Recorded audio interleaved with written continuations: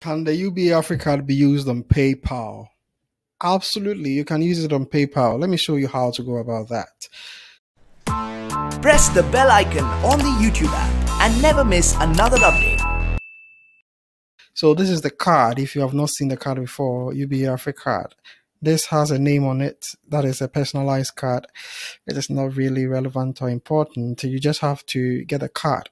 If you want this, that will take some time, probably uh, several days or a week, which is not really relevant. You only need the numbers on the card for transaction. So within an, an hour or two, you should get a card without any uh, personalized name or anything of a sort.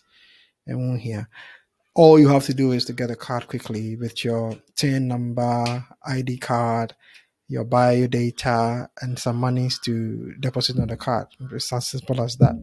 Uh, you can use it on PayPal. I've used it on PayPal severally.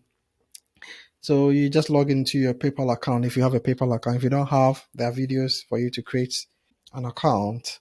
So, for example, you go into this account and I've linked a card on this account.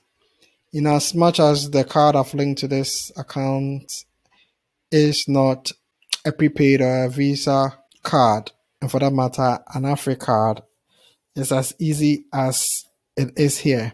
Yeah, I've linked a UBA MasterCard, which is also an option. I've been I've been linking UBA AfriCard to PayPal accounts for God knows when, severally. So that is it with with linking UBA AfriCard with a PayPal account. All right, see you in on the other side. Press the bell icon on the YouTube app and never miss another update.